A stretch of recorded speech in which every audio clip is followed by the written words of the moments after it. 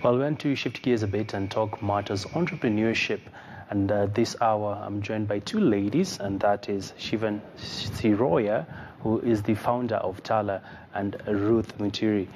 Many thanks for joining us this afternoon. Thank you. And uh, right now, technology is emerging as one of the big conversations for the continent. Talk us through what Tala is all about, uh, Shiro. Sure. Uh, so Tala is a customer-focused technology company. Um, at our core, we're a data and mobile technology company that is trying to expand financial access, choice, and control for the underserved globally. And so what we've developed is an Android platform that allows customers to download our app, apply for a loan, and receive instant access to credit. And for most of our customers, we can do that in under five minutes. All right. And uh, Ruth, uh, why this niche market? Well, uh, especially for Kenya, you find adoption to technology has been one of the best phenomenons we have. So we have mobile technology, which a lot of people are using, and because we are on Android, the best way we can be able to disburse money into the customer's account is using mobile money. So we found East Africa as a very good market to tap into, and it's actually been good. Yes. Talking about it's been good, uh, walk us through the journey and uh, the impact this might have in terms of financial sector deepening. Sure. Uh, so the journey, uh, it's been a little over five years. You know, as Rose said, our first market was Kenya, but we now actually work across four other markets. Uh, it actually spans three continents now. So we work across East Africa, we work in the Philippines, and also in Mexico. We've now just crossed a million customers on the platform um, as of Monday, actually. So it's a really exciting milestone for us as a company. But what's really exciting is the impact that we're having. And what we find is actually that over 70% of our customers are actually using the credit product for working capital. And so these are small business owners that are running their own businesses and not only using the credit to you know, expand that business, but really using it to improve their quality of life and the quality of life for their families. Uh-huh. And Rose, uh, this particular technology is sort of uh, disruptive in the sense that uh, we already have existing platforms like the M-Shwaris of the world.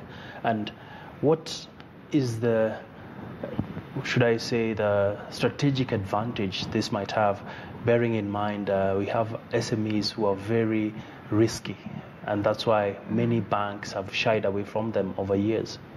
In fact, I like the word Shivani uses. She calls it the secret sauce. So, what we pride ourselves in is the technology that we have, and we've invested a lot also in our data science, meaning the way we can be able to pick information from our users and use our scoring capabilities to predict how they will be able to pay. Are they going to be good customers in terms of repayability? Will they be able to afford in terms of how much you can be able to lend to them? It's all about data science. It's all about how the do you predict behavior. and uh, Exactly. So we use a lot of machine learning, we use a lot of analytics. So those are things we've really invested in. We have a very high quality engineering team, both here and also at our headquarters in the US. So we make sure that we are always using cutting edge solutions to have our systems up and running 24 hours to be able to crunch large uh, bytes of data.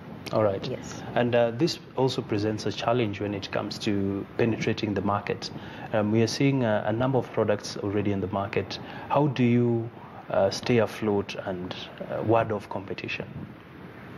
I think it goes back to really what our mission is as a company. And so we are not just a technology company, but we're a mission driven technology company.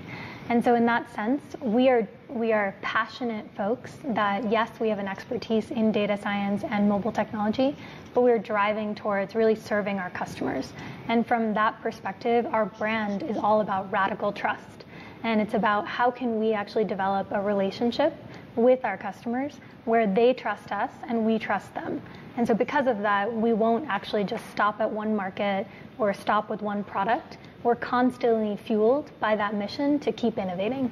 And uh, following up on this, uh, it's one of the questions I always ask any of my guests here the numbers. talk us through the numbers from a sense of uh, the volumes you've been able to disburse and uh, what are your future forecasts as you move into, say, by 2020? Sure. so, as I mentioned in the beginning, we now work across four different countries. We're on three continents. Um, we've surpassed over 4.5 million loans dispersed to our customers. We just mm-hmm. crossed the over 1 million mark in terms of customers on the platform itself. And in terms of dollar amounts, we've actually dispersed over 250 million US dollars in origination. All right. Interesting. So, yeah. Quite uh, substantial numbers. Yeah. And Rose, mm-hmm. what would be your parting shot right now as we bring the conversation to a close? And what is the outlook really for Kenya and even East Africa at large? What I can say is, considering that 70% of our users are micro entrepreneurs, there is a lot of room in terms of the kind of activities they can do. What used to be a setback was the access to credit, which we've been able to show that you don't necessarily have to use conventional means to weigh whether they can be able to access credit or not. You need to be very disruptive, you need to be very innovative in measuring for this underserved population. How can we be able to predict whether they can be able to repay facilities or not. The other thing would be there's a lot of room for the 18 to 35 year olds uh, that we see on our platform because that actually is 85% of our borrowers. So as opposed to people saying no, there's actually no way people can access, mm-hmm. they can actually tap into the technology that we have. All right. It's, it's actually the future. Yes. Interesting. And you didn't tell me the interest rate you charge on the loans. Sure. Uh, we charge 15%. Uh-huh. And over time, obviously, the product continues to get better for our repeat customers. All right.